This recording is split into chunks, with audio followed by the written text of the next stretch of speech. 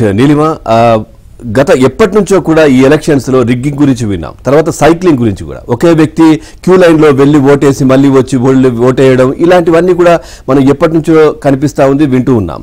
So ఇప్పుడు తిరుపతిలో జరిగినటువంటిది ఆ రిగ్గింగ్ ఏదైతే ఉందో దానికి సంబంధించినటువంటి దొంగ ఓట్లు అది అసలు కని విని ఎరగని రీతిలో ఉంది అనే కామెంట్స్ కూడా వినిపిస్తా ఉన్నాయి. ఎందుకంటే ఏకంగా ఎన్నికల అధికారులకు సంబంధించినటువంటి వెబ్సైట్లోకి వెళ్ళి ఐడీలు డౌన్లోడ్ చేసుకొని ఇతర ప్రాంతాల్లో ఉన్నటువంటి వాళ్ళ ఫోటోలు ప్రింట్ చేసి ఓట్లు వేయించడం ఇక్కడ ఎవరైతే అభ్యర్థున్నారో వారు సేఫ్గా ఉన్నారు. సూత్రధారులు సేఫ్గా ఉన్నారు. కానీ ఇక్కడ బలవుతున్నది ఎవరు? ఐఏఎస్ దగ్గర నుంచి సామాన్య కార్యకర్త ఎవరైతే దీంట్లో పార్టిసిపేట్ చేస్తారో వాళ్ళ వరకు బలవుతున్నారనే విమర్శలు కూడా వినిపిస్తా ఉన్నాయి. రైట్ రిగ్గింగ్ గురించి విన్నాం. ఒకే వ్యక్తి మళ్ళీ మళ్ళీ క్యూలోకి వెళ్ళి ఓటు వేసే సైక్లింగ్ గురించి విన్నాం. కానీ తిరుపతి లోక్సభ ఉప ఎన్నికల్లో జరిగింది కనివిని ఎరుగని అక్రమం.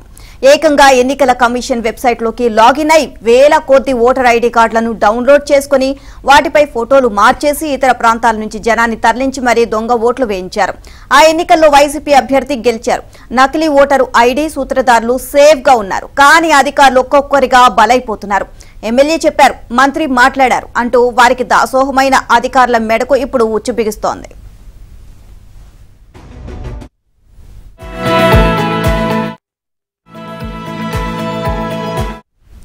రెండు వేల ఇరవై ఒకటిలో సిట్టింగ్ ఎంపీ మరణంతో తిరుపతి లోక్సభ నియోజకవర్గానికి ఉప ఎన్నిక జరిగింది. తమ అభ్యర్థిని భారీ మెజార్టీతో గెలిపించుకునేందుకు అధికార పార్టీ అన్ని రకాల అరాచకాలకు తెరతీసింది. అందులో ఒకటి పక్క జిల్లా నియోజకవర్గాలకు చెందిన వాళ్ళ ఫోటోలతో నకిలీ ఓటర్ ఐడీలను సృష్టించడం. అప్పట్లో ఈ ఎన్నికలకు రిటర్నింగ్ ఆఫీసర్గా వ్యవహరించిన నాటి మున్సిపల్ కమిషనర్ ప్రస్తుత అన్నమయ్య కలెక్టర్ గిరీషా లాగిన్ ఐడితో వేల కొద్ది ఓటరు ఐడీలను డౌన్లోడ్ చేసుకున్నారు. ఈ అక్రమాలపై విచారణ జరిపిన కేంద్ర ఎన్నికల సంఘం ఆయనపై సస్పెన్షన్ వేటు వేసింది అంతేకాదు గిరీషాపై కేసు కూడా నమోదైంది.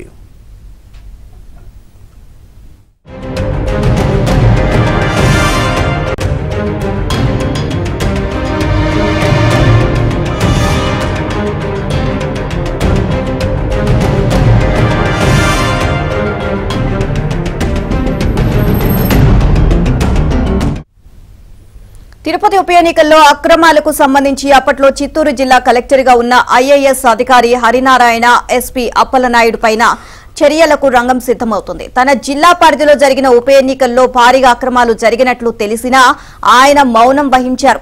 వేల కొద్ది దొంగ ఓటర్లు వందల వాహనాల్లో తిరుపతికి తరలివచ్చి వెంకన్న దర్శనానికి వచ్చిన భక్తుల్లా పెళ్ళి వేడుకలకు వచ్చిన అతిథుల్లా నటించారు. ఈ విషయం పోలింగ్ రోజునే బట్టబయలైంది.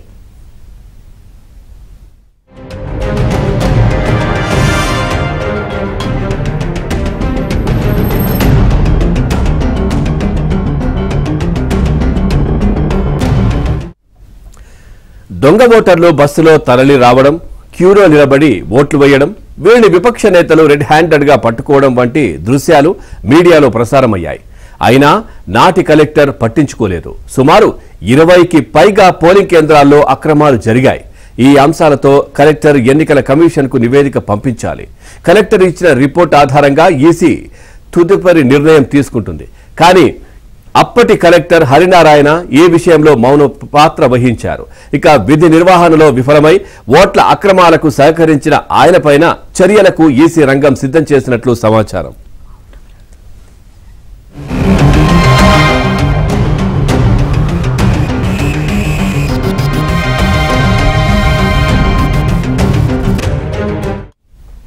తిరుపతి ఉప ఎన్నికల్లో ఓటుకు తూట్లు పొడిచేందుకు సహకరించిన ఇద్దరు సిఐలపైన కేసు నమోదైంది. పోలింగ్కు ముందు రోజు రాత్రే బయట ప్రాంతాల నుంచి బస్సులు ఇతర వాహనాల్లో భారీగా దొంగ ఓటర్లు తరలి వచ్చారు. ఈ వీడియోలు సోషల్ మీడియా టీవీ ఛానళ్ళలో ప్రసారమయ్యాయి. దీనిపై ప్రత్యక్ష నాయకులు అప్పుడే అలిపిరి తిరుపతి ఈస్ట్ పోలీస్ స్టేషన్లో సాక్ష్యాధారాలతో సహా ఫిర్యాదులు చేశారు. దీంతో Tirupati east CI Shivaprasad Alipiri CI Devendra తప్పనిసరి పరిస్థితుల్లో కేసులు నమోదు చేశారు. కానీ చిన్నపాటి చర్య కూడా తీసుకోలేదు.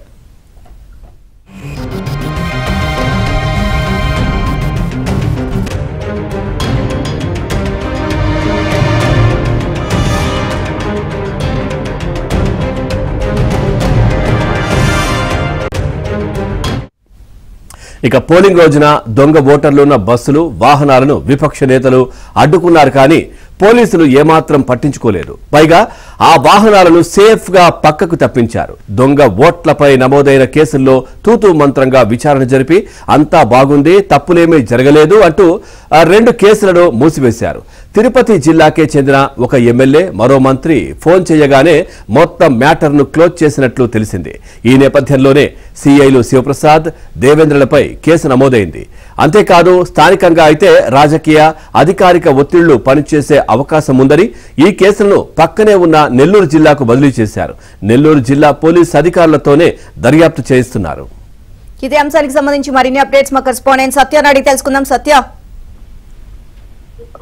ఏదైతే దొంగ ఓట్లకు సంబంధించి తిరుపతి ఉప ఎన్నికల్లో నకిలీ ఓటర్ గుర్తింపు కార్డులను తయారు చేయడం అంశంపై ఉన్నతాధికారులు ఇప్పటికే సస్పెండ్ అయిన పరిస్థితి అయితే ఉంది. రిటర్నింగ్ అధికారి గిరీష్ షాను సస్పెండ్ చేస్తూ ఆ, రాష్ట్ర ప్రభుత్వం నిర్ణయం తీసుకుంది. కేంద్ర ఎన్నికల సంఘం సిఫార్సు మేరకు రాష్ట్ర ప్రధాన ఎన్నికల అధికారి రాష్ట్ర ప్రభుత్వానికి సిఫార్సు చేయడంతో నిన్న సిఎస్ మొన్న CS KS Jawahar Reddy Girish Shah IAS అధికారిని సస్పెండ్ చేస్తూ డిసిషన్ తీసుకున్నారు. ఆయన సస్పెన్షన్ కాలంలో హెడ్ క్వార్టర్ విజయవాడను వదిలి వెళ్ళకూడదని కూడా ఆదేశించిన పరిస్థితి అయితే ఉంది.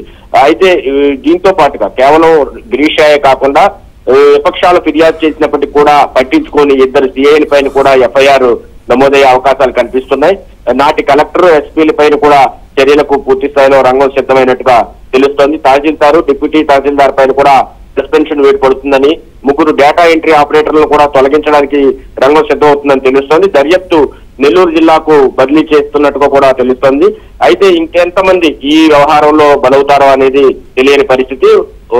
ఏదైతే తిరుపతి ఉప ఎన్నికకు సంబంధించి అప్పట్లో నకిలీ ఐడి ఓటర్ గుర్తింపు కార్డులను తయారు చేసి వాటి ద్వారా వందలాది మందిని బస్సుల్లో బోర్డర్ నుంచి తరలించి అక్కడ ఓట్లు వేయించారనే ఆరోపణలు అయితే విపక్షాలు చేశాయి. ఆ బస్సులను పట్టుకున్నప్పుడు కూడా పోలీసులు వాటిని సేఫ్గా తప్పించి పంపించేసిన పరిస్థితి.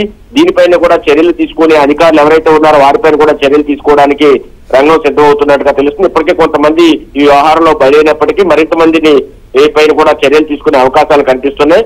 నకిలీ ఓటర్ ఐడి స్కామ్లో డేటా ఎంట్రీ ఆపరేటర్ల నుంచి ఐఏఎస్ల వరకు కూడా బాధ్యులందరిపైన కూడా చర్యలు కేంద్ర ఎన్నికల సంఘం గట్టిగా నిర్ణయం తీసుకుంది. నిఘా వర్గాల నుంచి కూడా ఈ ఈ వ్యవహారానికి సంబంధించి సమాచారం కూడా తెప్పించుకుంటుంది. ఇందులో పాత్ర పాత్ర ఉన్న ఏ ఒక్క అధికారిని వదిలే అవకాశం కనిపించట్లేదని తెలుస్తోంది. మొత్తం తొమ్మిది నుంచి తొమ్మిది పదవ తేదీల్లో విజయవాడలో జరిగినటువంటి సమావేశంలో దీనిపైనే ఈసీ స్పష్టమైన సంకేతాలు ఇవ్వడంతో ఇప్పుడు చర్యలకు ఉపక్రమించారు. దీంతో అధికారులు ఏ క్షణాన్ని ఏమవుతుందని ఆందోళన చెందుతున్నారు. అధికార పక్షానికి వత్తాసు పలికిన అధికారులు కూడా ఈ చిలి ఈ వ్యవహారం అటు ఇటుగా మారి తమ మీదకి వస్తుందా అనే ఆందోళన కూడా వారు వ్యక్తం చేస్తున్న పరిస్థితి అయితే ఉంది. కాబట్టి అధికార పార్టీ చెప్పినట్టల్లా వింటే చివరకు బలైపోయేది అధికారులు అనే విషయం ఇప్పుడు కూడా స్పష్టమవుతున్న పరిస్థితులు అయితే కనిపిస్తున్నాయి. Right thank you Satya